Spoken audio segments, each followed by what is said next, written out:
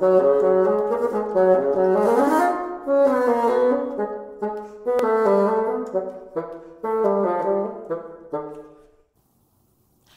I'm Jenni Brandon, and I'm so excited to welcome you to the world premieres of new works for the solo bassoon. These works were written by composers who participated in my online summer composition workshop series, Writing for the Solo Instrument.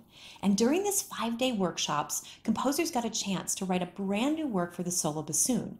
They got a chance to work with Christin Schillinger, who will premiere these works today, and got to learn all about the great things that the bassoon is capable of.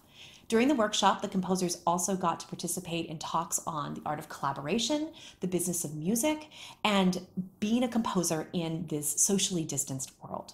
And so today you'll get a chance to hear these brand new works, and I hope that you'll take a moment to get to know these composers.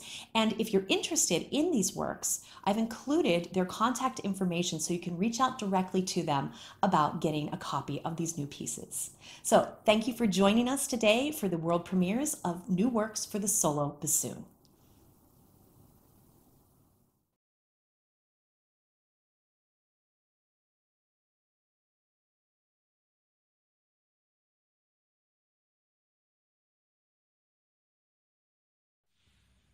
Hi, my name is Sagita and I'm the composer of Noctiluca Scintillans.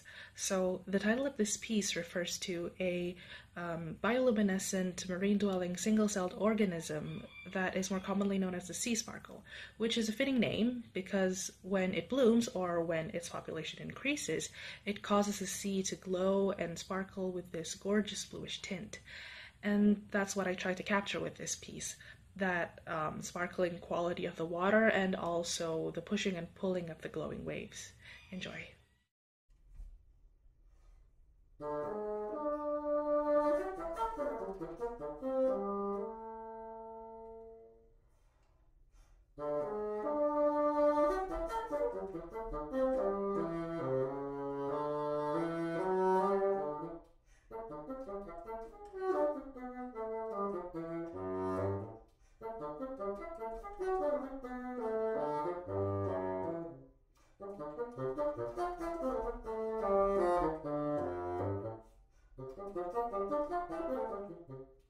Thank you.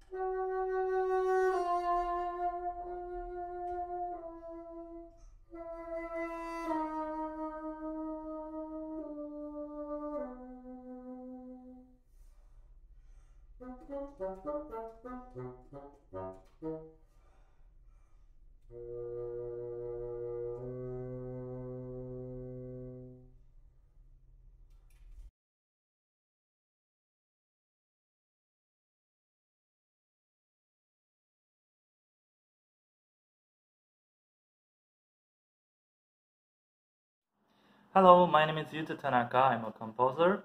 Uh, for the solo bassoon concert, I wrote a piece titled Pandora. This piece portrays the Greek myth surrounding Pandora. In Greek, it means all gifts. She was sent to the earth by Zeus with a box, which he told her not to open it. At first, she enjoyed life on earth, but eventually, she opened the box out of curiosity. The box released all sorts of evil to the earth. However, Pandora finds that hope alone stays in the box, which tells her not to despair. I hope you enjoyed. It. Thank you.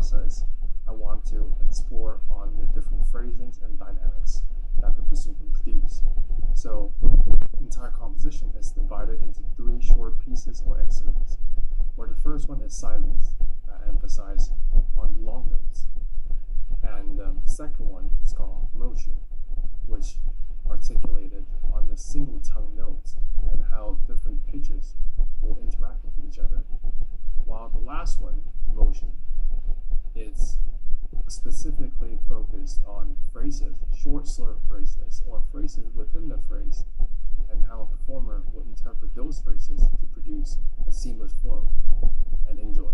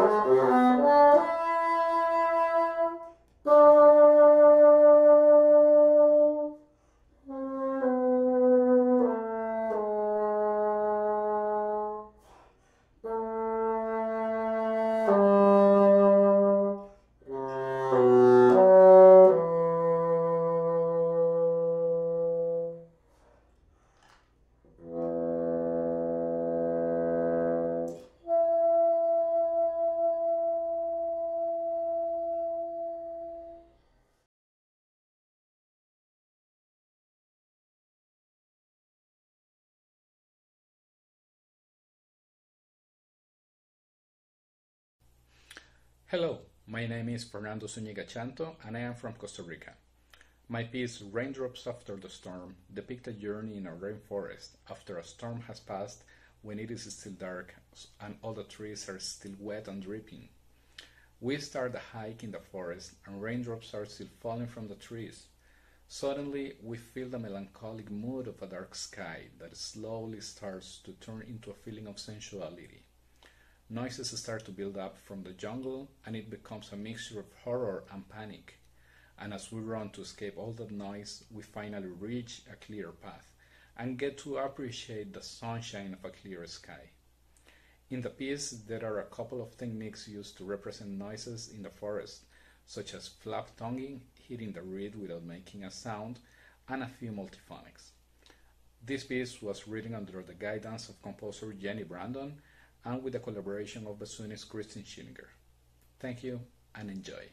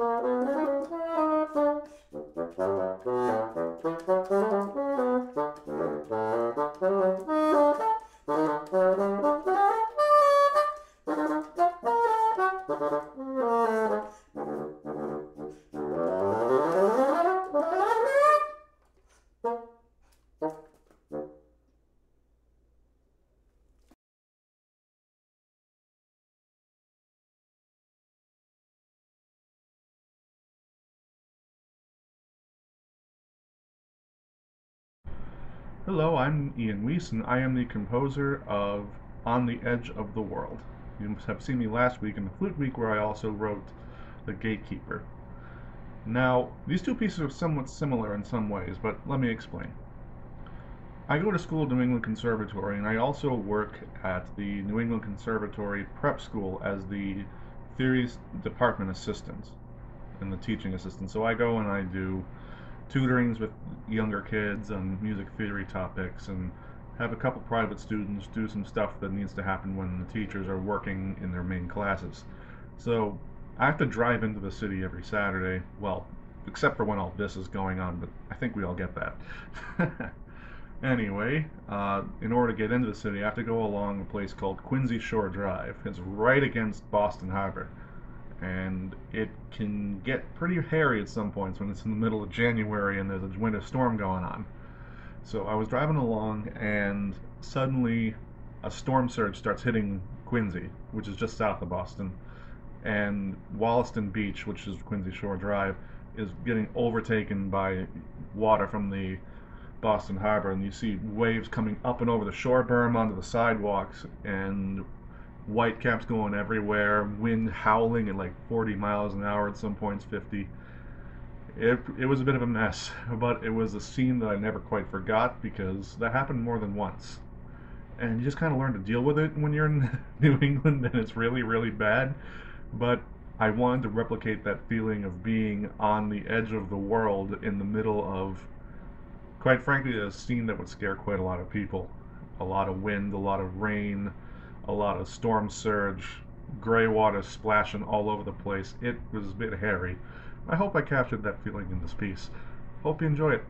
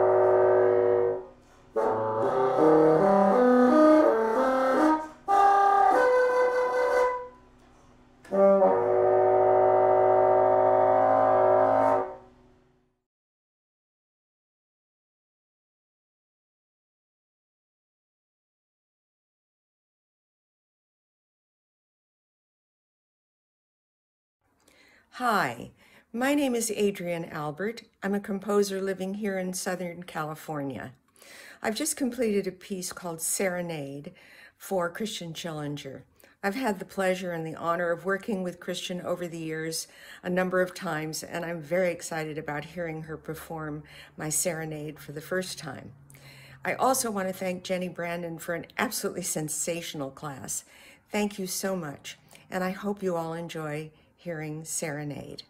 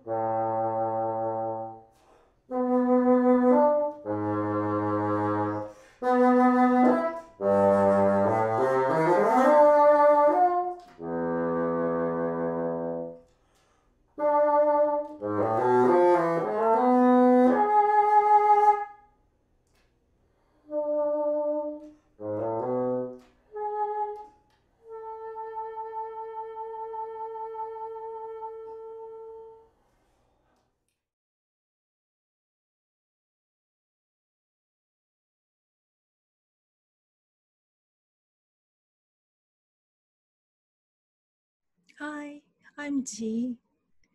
Edit number two for Solo Bassoon is my piece for tonight. This piece was inspired uh, during the workshop week with bassoonist Christine and mentor Jenni and brilliant fellow composers. I wanted to bring a more beautiful lyrical line from the bassoon, and I was hoping to encourage performers to express themselves in the piece. I hope you find it interesting. Enjoy the concert. Thank you.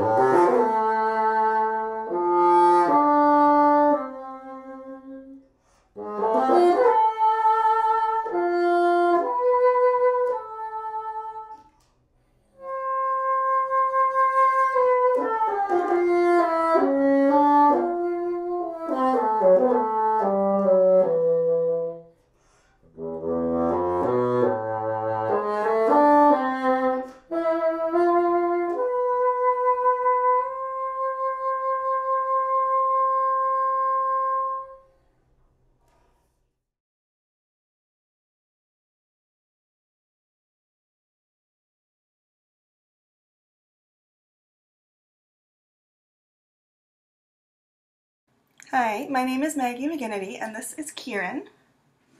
There you go, be free.